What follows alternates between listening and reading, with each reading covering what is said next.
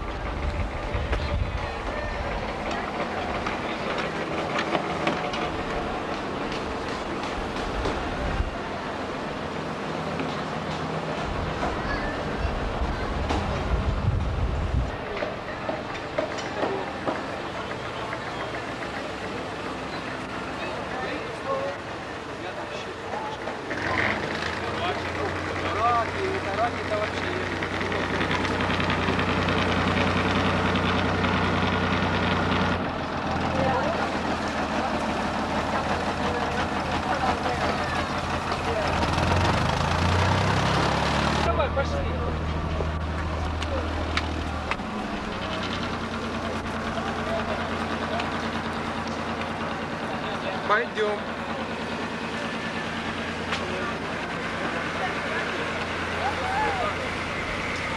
Давай, отрубай, пошли. Давай. Официальный такой андеграундный журнал.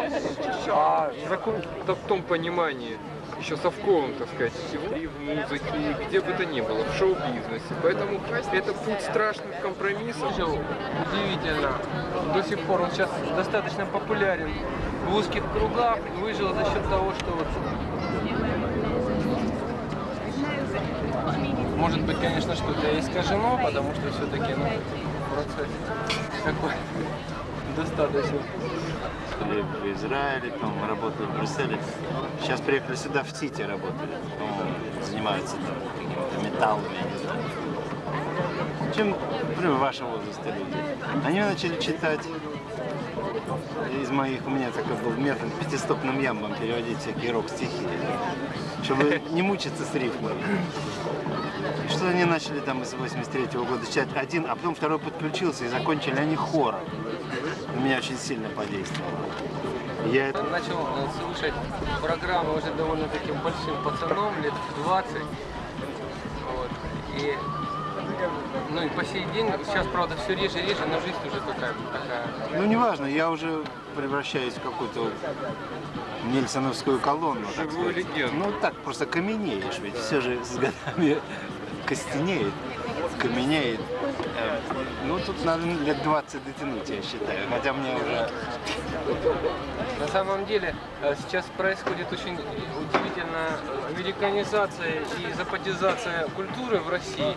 И вот я что хотел сказать, меня жутко, конечно, смешит. А, У вас сейчас а, подражателей в России на радио столько, вы понимаете, их нельзя, нельзя винить. Я просто жанр э, выработал. Так уж получилось. И мои заслуги в этом особой, может быть, и нет. Так просто жизнь сложилась. Я попал сюда первым, попал на эту работу. И у меня были все исходные данные. Английский язык, э, шесть, по-моему, лет профессиональной поп-культуры, работы в поп-ансамбле. 12 лет гастролей, а это значит весь музыкантский фольклор я в себя вобрал.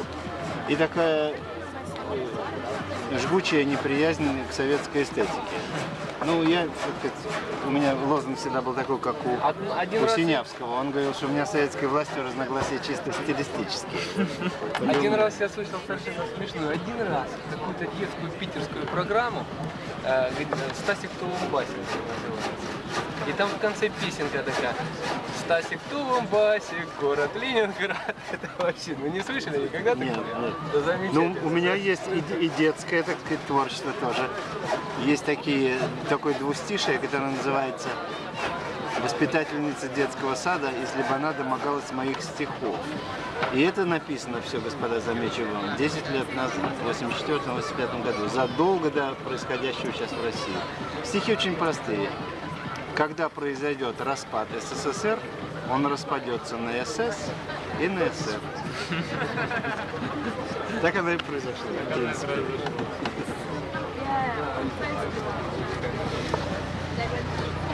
Вот эта пленка, когда будете слушать, не удивляйтесь, она совершенно абсурдистская. Тут живая музыка. Вот, это последний Да, это последний концерт живой музыки. А это вот мы сделали э, со своим басистом трек такой компьютерный. Компьютерная музыка. Я называю это гаражный New Age. Сверху наложили живые инструменты, и там практически нет э, никакой э, русскоязычной, так сказать. Ну, в общем, там есть псевдосарацинский язык, и все это э, приурочено к сказке, которую я написал. Здесь, правда, первая часть. Вот, я ее уже написал до конца. Вот она. Она, вот, если будете читать. А что за техника? На чем дома пишете? просто- Что? Ну, музыку, Музыку, музыку, да, на чем? Ну, в общем, э, на, на чем угодно. В последнее время мы вообще-то начинали писать на бытовом магнитофоне. Работал в ТАСС, потом в Московском комсомольце, снял кучу фильмов. И сейчас это сейчас самый раскрученный, самый популярный в России э, журналист или журналист. У него очень такая свободная речь. скандальная совершенно. Э, Даже у него такой южный говорок, что- что- за что ему очень достается от всех Да, московских СМИ. Интеллигентно, да. Они считают, что это неправильный русский, и, в общем, э, ну, я думаю, это мафия. Ну да, ну Ну, я их тоже могу понять. И я их тоже могу Их понять. били по голове, их учили правильно произносить, делать ударения. Нет, на самом деле он очень эрудирован. Нет, он динозавр вторая это. Валера, вот ты расскажи лучше Севе по... Ты еще расскажи Севе про Тимофея, потому что Когда мы стали делать фильм, на- буквально на э, 9 дней, чтобы он вышел, мы собрали огромное количество материала, видео, э, потому что эта личность была столь колоритная и столь э, интересная. Такая подпольная, ну да, подпольная культура. Не вы не учили урок сегодня, который вы будете преподавать завтра, чтобы у вас был запас. На этом все создано.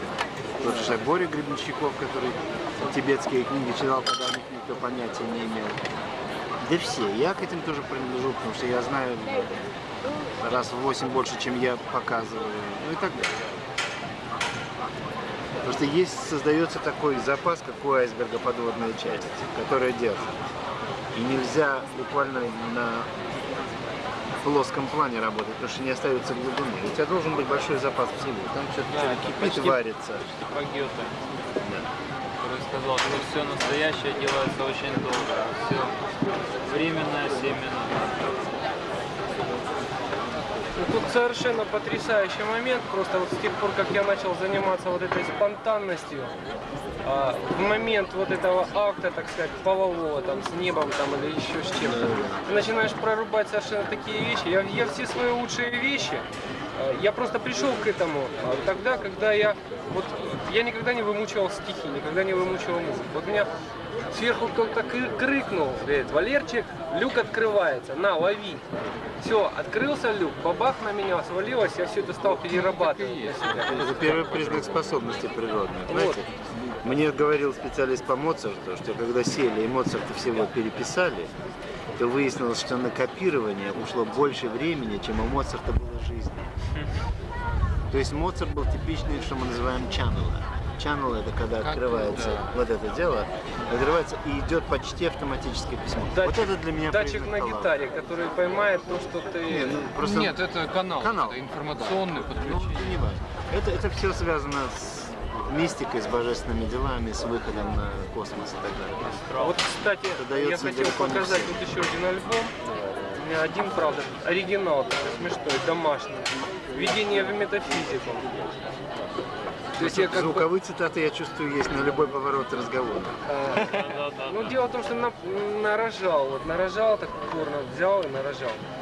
И в свое время, как бы, учась в этом, возьми работает. я вам, я вам дам, э, значит, концерт э, э, в Лондоне, э, вернее, в Лондоне Да первый включена, концерт что? Юрия Наумова и концерт Как? первый в А когда Америке. это было? Вот как я только перепишу вам тейпы, я Когда вам это был концерт? Этот концерт был в в прошлом году, в середине прошлого года. И пе- и первый концерт в Лондоне, я на нем присутствовал. Мы там всю ночь просидели на кухне, про разглагольство за водкой, когда Россия возродится. И что ж, о чем? К чему пришли? Дело в том, что тут еще... Потому что надо делать свое дело. О, Делаете, как это, Как-то- профессор Стеребляков. как-то Дело Чарли- надо делать. как-то Чарли Паркера спросить, там шли разговоры о музыке, а он не любил вообще говорить. И когда его спросили, там, какое-то критическое мнение высказать, он сказал, you better play like the motherfucker. Чарли Паркер весь был в пальцах людей. Играйте и все. Играть, играть на типа заебись, он сказал, и всё. Это был музыкантский ответ, с моей точки зрения. Есть вообще такое понятие, что высказанные мысли, известно, есть ложь, потому что слово мысли не соответствует. И в мистической традиции есть такое понятие, что высказанное знание сразу же слабеет. Половинится сразу. Если есть у человека тайна, да, что-то задумал, когда есть- пока она в голове, она силу держит. Как только сказал, сила наполовину ушла. Потому что язык... Но если исходить из этого, это то же самое распространяется и на стихи. Со стихами нет. Стихи почему? Стихи концентрация. Вот. Это не стихи. В хороших стихах есть третье измерение, застрочное пространство, то, чего словами не То есть выразишь. есть код. Не, дело не в коде. Есть, э, ну, не знаю, вот у Акуджавы, тот, кто вперед рубается, в лучших песнях есть то, чего в строке нет. Просто Если, прорыв. если посмотреть стихи, там как бы, а когда это начинает звучать, там возникает сразу третье пространство, третье измерение. То есть Все, вы не представляете, когда я ребят вел на встречу с вами, они просто готовились к этому моменту. Да не, ну что, ж, мы тут все простые, как мебель. это у них, в принципе, такое с детства, когда Валера только начал слушать нас. В общем-то, мы все вырастали на этом. Это, это был не там съезд какой-то очередной КПСС, вот, а просто сидеть у приемника слушать. Можно, извините, да, Да, не, не надо слишком делать долго. там этот. э, спасибо, все это. Ну удивительная вещь. Я приехал в Лондон, впервые в жизни там вот в такой замечательной загранице. Там, был когда-то там, ну, это не важно. Вот. И у меня такое ощущение, что я здесь жил. Я пришел, вот он говорит, что ты такой, обычно я там разговорчивый очень человек, а у меня варежка отвисла, я ходил. Вот, на второй день у меня прошло все это, и я вдруг понял, что я здесь жил. Что где-то там я Что, возможно, ощущение написано в буклете, а то, что написано в буклете, всегда правда. Лондон столица мира. То есть меня перестало, перестали какие-то вещи удивлять. кто написал? А вот это я не знаю. Ну, Лондон, почему старейший? Ни в коем случае. Ри-. Рим старее намного, Он же завоевал когда-то. а, а Египет еще старее. Лондон относительно недавно был основан. Первая улица в Лондоне это Странд, где BBC Бушхаус стоит. И все это было порядка, не знаю, первый век до нашей эры, где-то вот на сломе эпох. Потому что римляне отсюда ушли в 463 году из-за восстания гнусных англов, которые этот беспорядок навели.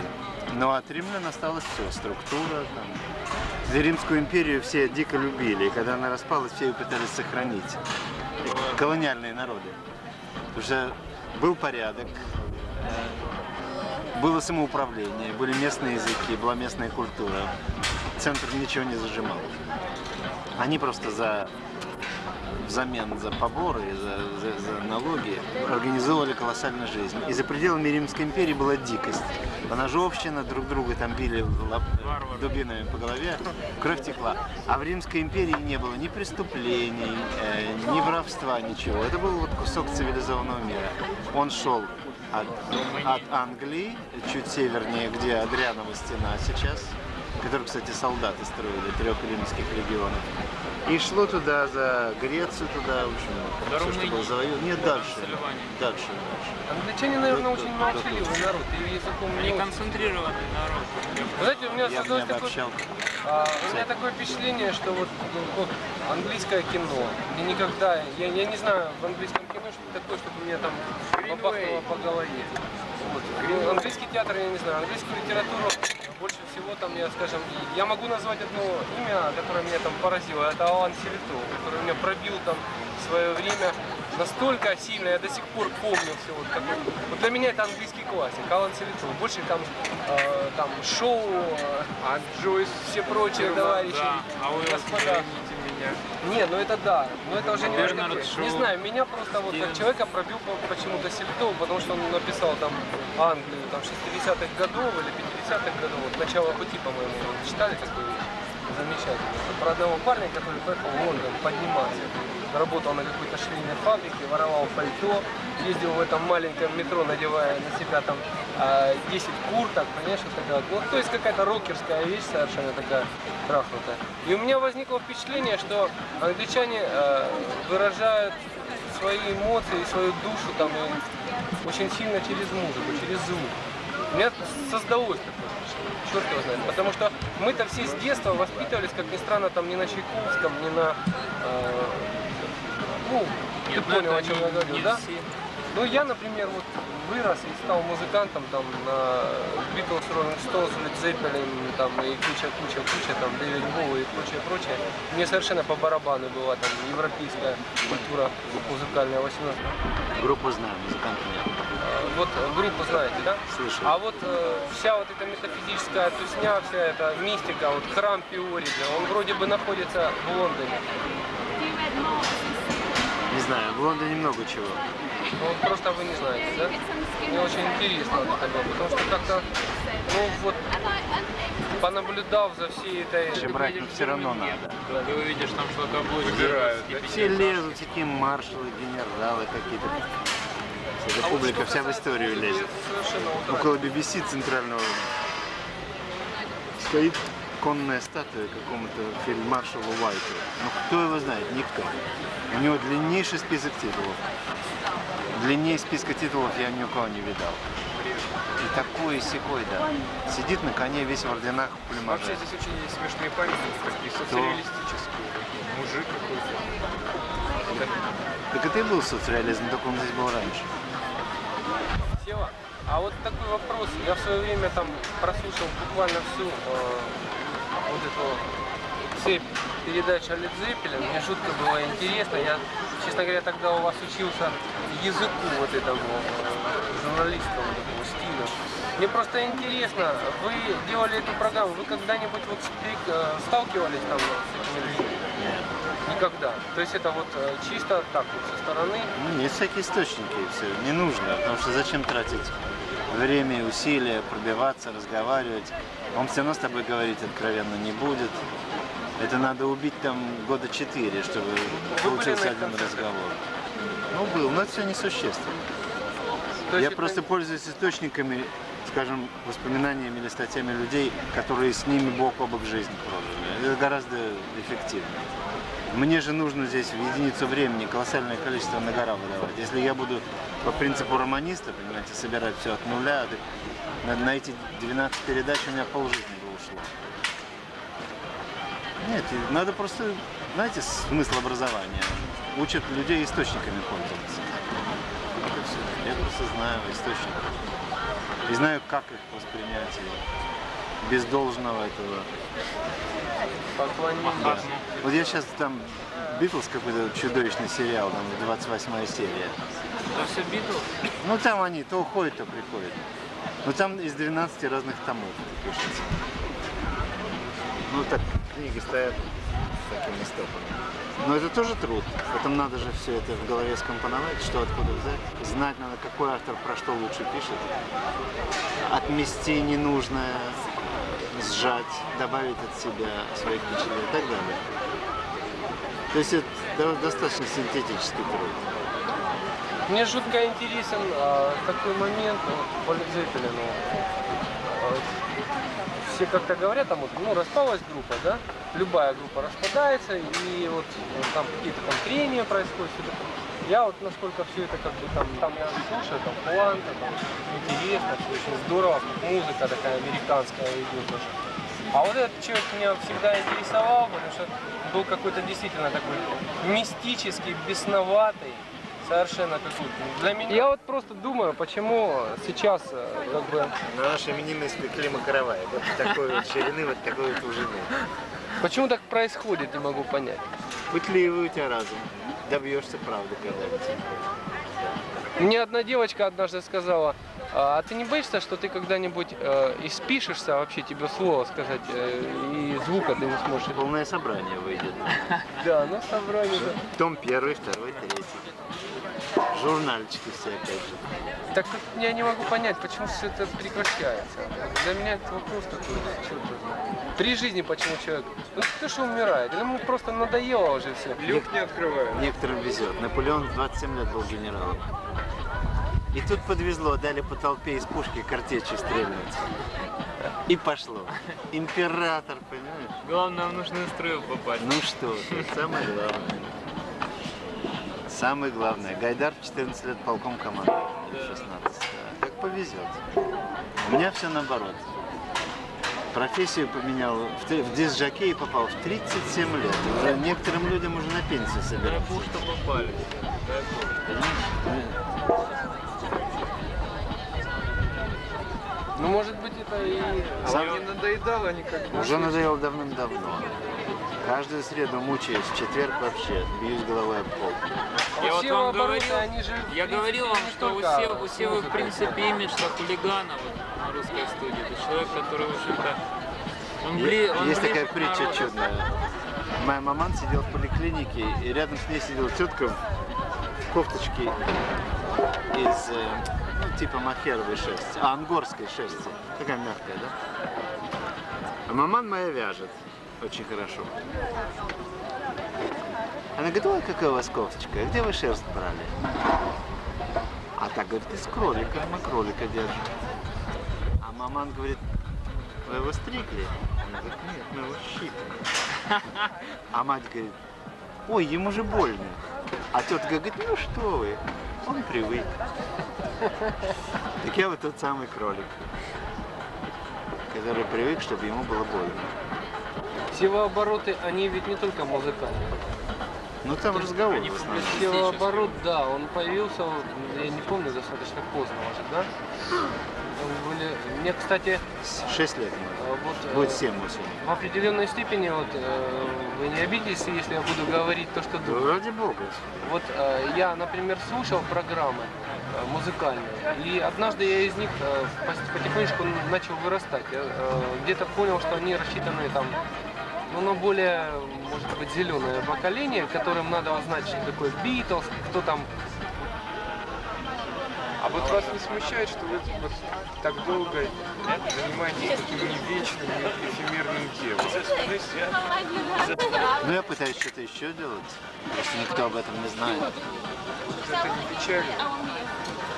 Потому что мне, например, когда я появляюсь в телевизор, там на следующий день ходят и, и тычат пальцем, говорят, а вот это из телевизора человек. Мне так обидно и противно становится, потому что я, в общем-то, театральный режиссер, а не телеведущий или там не... так не появляется в телевизоре.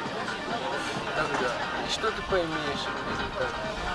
Не, ну у меня на самом деле попадание на работу в BBC история мистическая, поэтому там было столько совпадений, там был явный сценарий меня написан в жизни. Во-первых, меня нашли в Риме, я на BBC не собирался. Пришел человек случайно, искал совсем кого-то другого, пришел ко мне в квартиру почему-то. Узнал меня, потому что он меня знал как джазового музыканта. Начал предлагать, я сопротивлялся там два или три дня. Какой BBC, там, 75-й год, кстати. Враги народа не хотел. Ну и так далее. Там была масса-масса обстоятельств. Я сейчас просто не буду пересказывать длинная история. Ну вот. Но там божественный юмор во всем был виден. У меня был жучок, например, машина Volkswagen с голландским номером. И первые две буквы были DJ. Я даже не знал, что это. Да, да, там все было расписано уже. Я знал, что, чем все это дело кончится. Ну и как бы меня так поставили на эту работу, надо тянуть, пока не, не кончится. А у меня есть разные другие проекты, я там что-то пытаюсь сделать. А вот эти люди, э, которые, э, вытаскиваете там на программу, у вас есть какая-то там сеть людей, которые отбирают, или вы занимаетесь этим чисто сами? Знаете, в, в этот процесс голову нельзя включать. Как включишь, появляется теория, и все погибнет. За пять минут все сгинет. Этот самый элемент невысказанного должен быть. Ну, принцип простой. В эфир просится или нет? Чувствуешь? Просится? Просится. Нет? Нет. Ну, тут показатели миллион. Это срастается из всего. Из ощущения обстановки. Из того, что сегодня я считаю, как бы надо среднему статистическому гражданину. Мне это интересно или нет. Добавляет это чего-то к национальному пониманию или нет. Худшие программы, как раз, ко- которые были вычислены кем-то за нас или мной. Должна быть энергия, должен быть тот люк, вот о котором мы говорили. Если он есть, Вот то однажды все лучше идет не от нас самих. задался вопросом, вот, э, во имя чего существует, дурацкий, во имя чего существует русская служба? Во имя британских интересов. Во имя британского- Конечно. Россия здесь, Россия здесь совершенно между прочим.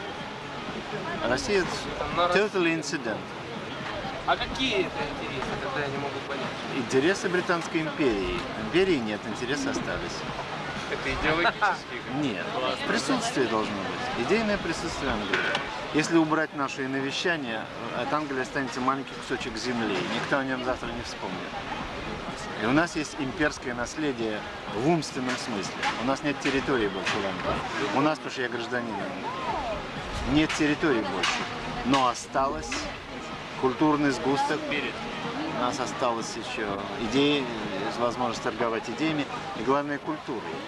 Как говорят англичане, деньги хорошо, но породы ими не перешибешь. Страна старой аристократии, старейшей, крупнейшей монархии. Понимаете? Аристократам есть что предложить, могу вас уверить. И здесь мощный, очень мощный и толстый слой интеллигенции. Причем у меня такое ощущение иногда, что их там больше 40%. Все равно я, наверное, не- я не понимаю, зачем им Россия? Да не зачем, не Просто зачем. Самоутверждение на э, вот, как бы, Экстраполяция себя.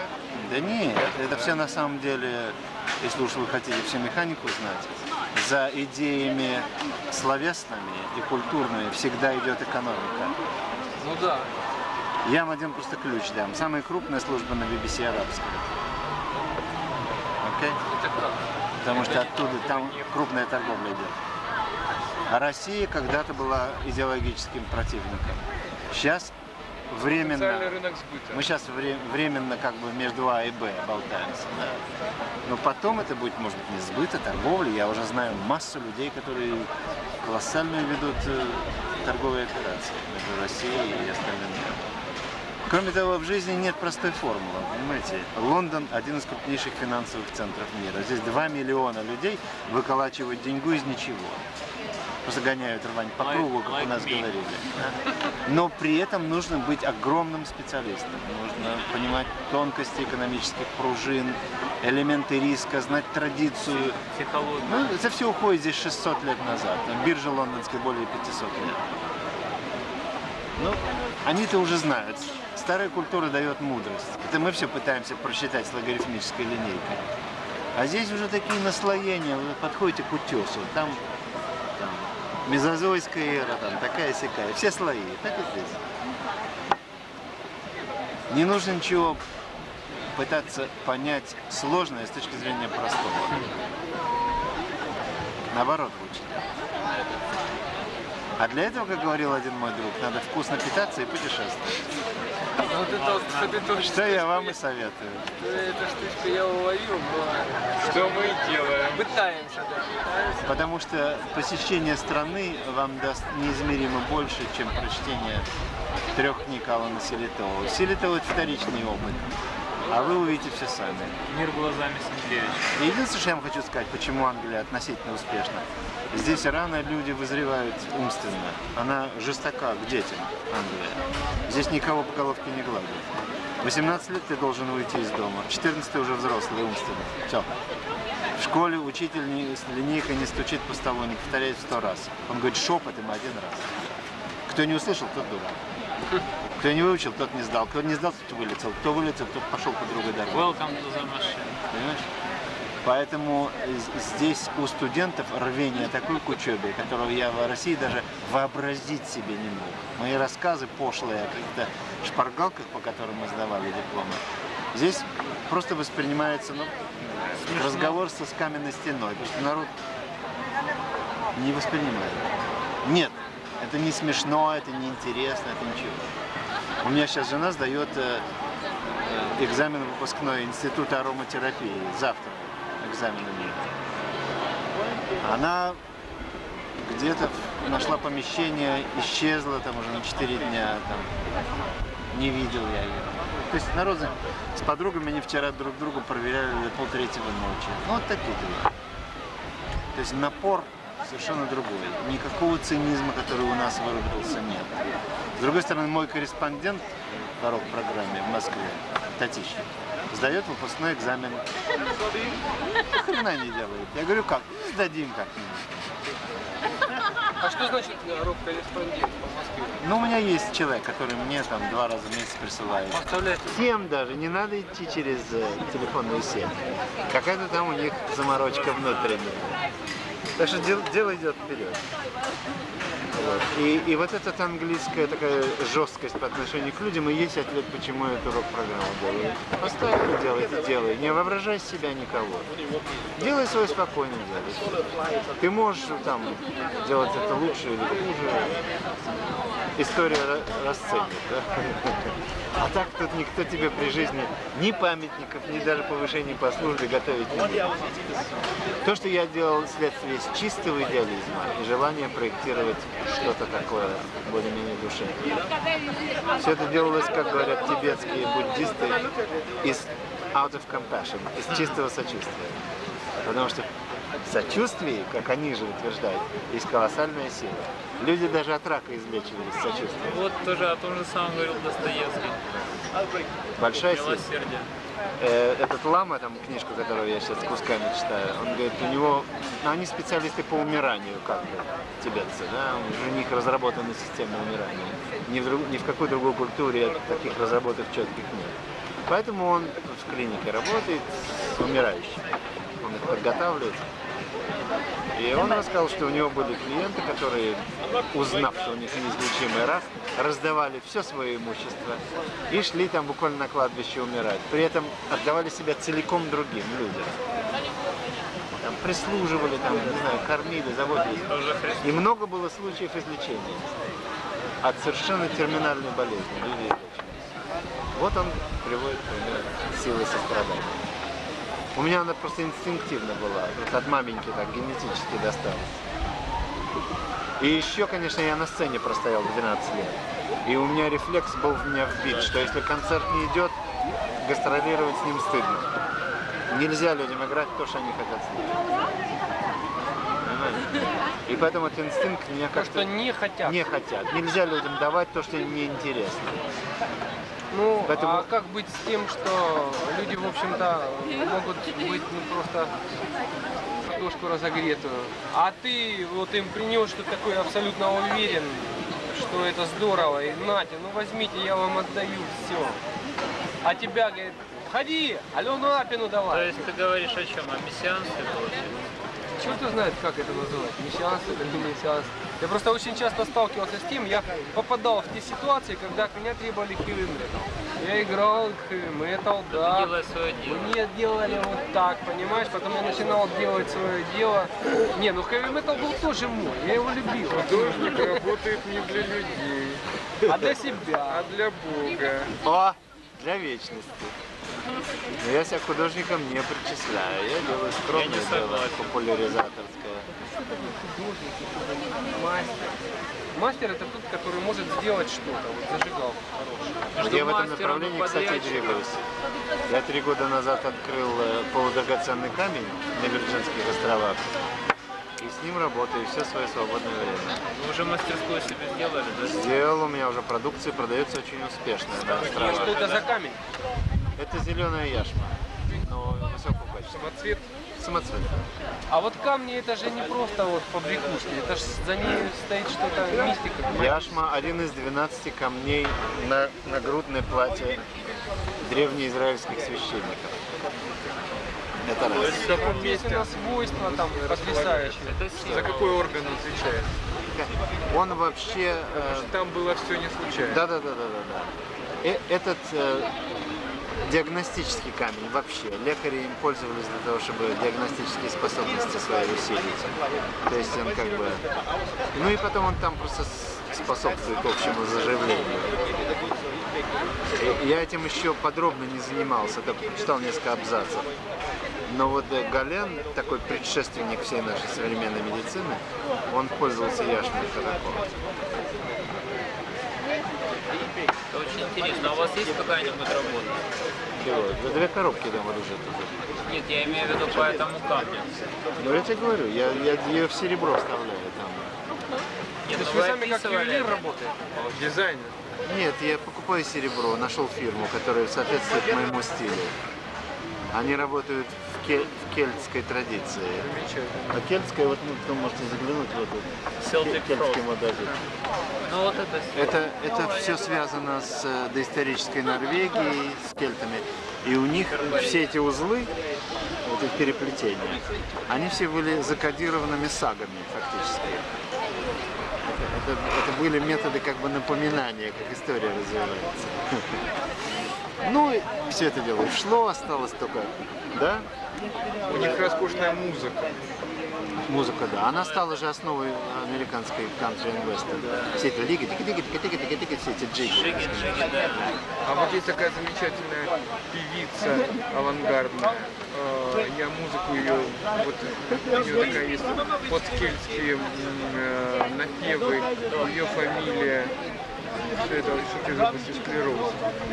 Что, что, что? А, Федри я использую кельтскую вот эту музыку Так замечательную. что за певица? Ну, я, я же не- Эня, может быть, нет? Нет, Эня нет. Нет. Кого ж ты используешь? Фрезер, нет? Нет, Вариантов. нет, это авангардная деятельница. Нет, Фрезер такой как нет. Пор- Поразительно. Про нее снимал, э, кстати, Гринуэй телевизионную работу. Но сейчас Лор Андерсон. Нет. Я, же, поскольку нахожусь так, в центре всех лондонских тусовок, общая тенденция, господа, не на авангард, а общая тенденция вся. New Wave. Нет, New Wave. Wave Да, да, это объединение всего. Древнего, это. Романтика. Нет, это возврат к земле. А мы, наверное, вот это и называем авангардом. что Это возврат к земле, это попытка разгадать э, мегалитические структуры. У нас приятель, например, написал книгу о священной геометрии Земли, вот она будет издаваться. На всяк- во всяком случае, там все было не случайно. Все эти-. Да, все эти мегалитические структуры были расставлены не случайно, там есть четкая совершенно до долей градуса э, расстановка, когда это еще было ничего не известно, все высшей математики.